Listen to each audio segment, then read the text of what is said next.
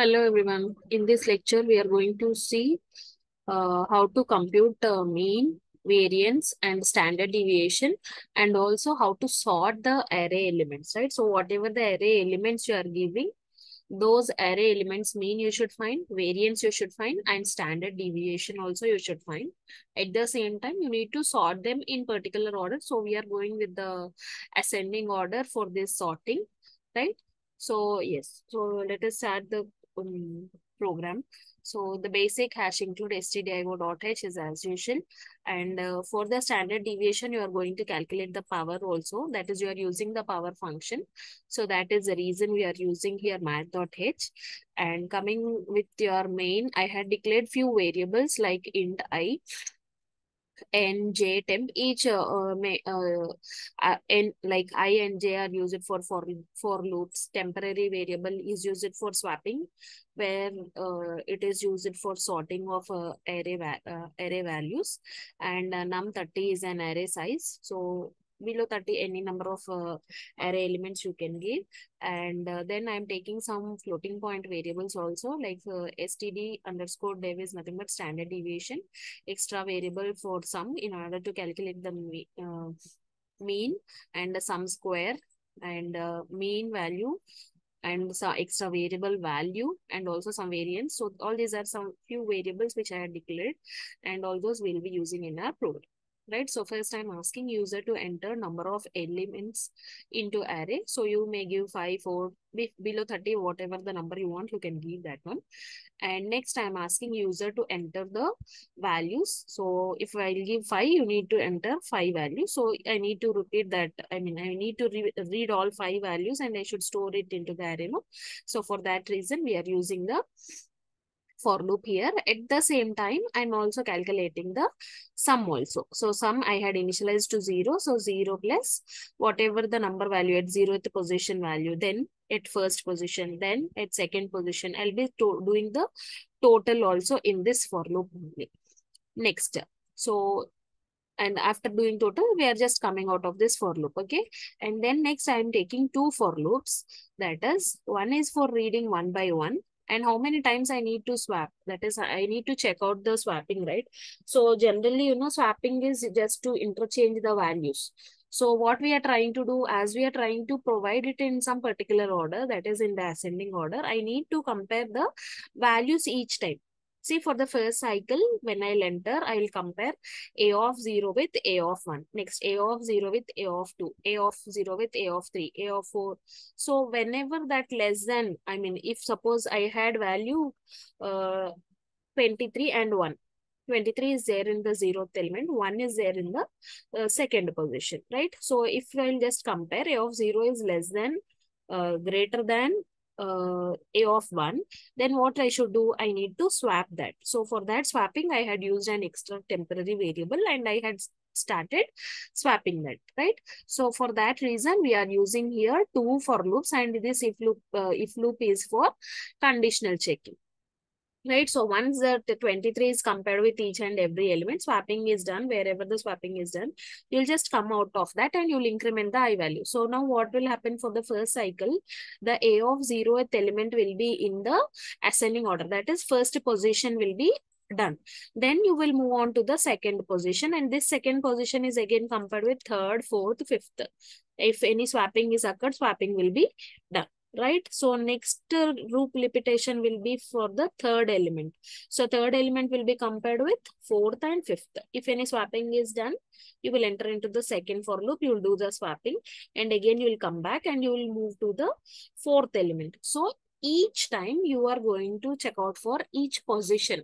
So that is what the first for loop and second for loop is comparison between the number of variables. As I said, second number is compared with third, fourth, fifth. So each and every time you will compare.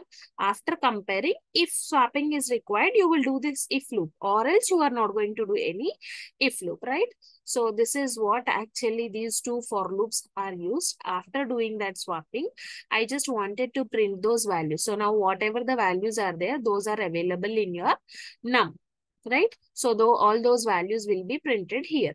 Next, after sorting, I mean, after printing that, next what I wanted to do is I wanted to find out the mean. So for the mean formula is you should sum all the values and divide by n. How many number of values are there? That number.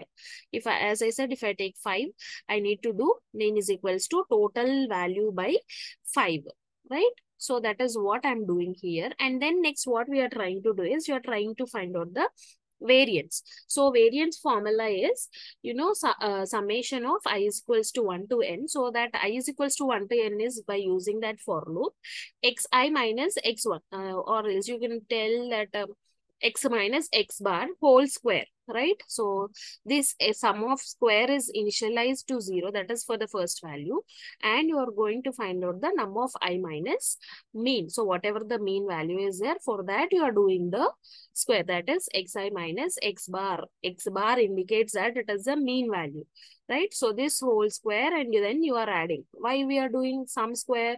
Because we also wanted to do summation. In the formula you will have the summation. So from the beginning till end powers also you need to add. So this is the variance formula right? So sorry for the uh, doing of summation of i is equals to 1 to n where x x1 minus xi minus x bar whole square is done here but the variance is summation of i is equals to 1 to n into xi minus x bar whole square by n right? So this by n is the complete variance formula and the square root of this variance is nothing but your standard deviation. So then simply I'm just trying to print out the uh, mean value. Mean of the given numbers is n comma mean and mean of va variance of those numbers. It will print the variance and uh, standard deviation is printed by std dev.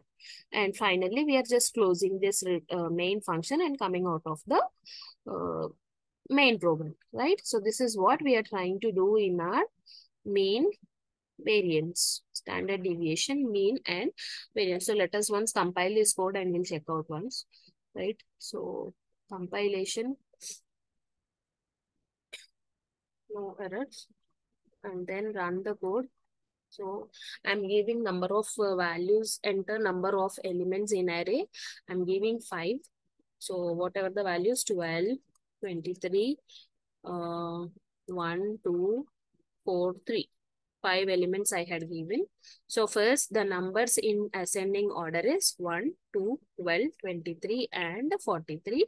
So you just do that mean 23 plus 43 and plus 12 plus 2 plus 1 whole divided by 5. Then you will get approximately some 16.200 and then its variance you should calculate like summation is equals to summation of i equals to uh, 1 to n and xi minus mean whole square you should do by 2 and then square root of that 242 is approximately you are getting 15.58 so these are the mean variance and standard deviation and also you are sorting the array elements in ascending order. Not in descending order we are going on with the ascending order. If you wanted to do the descending order just change the symbol in your if loop right?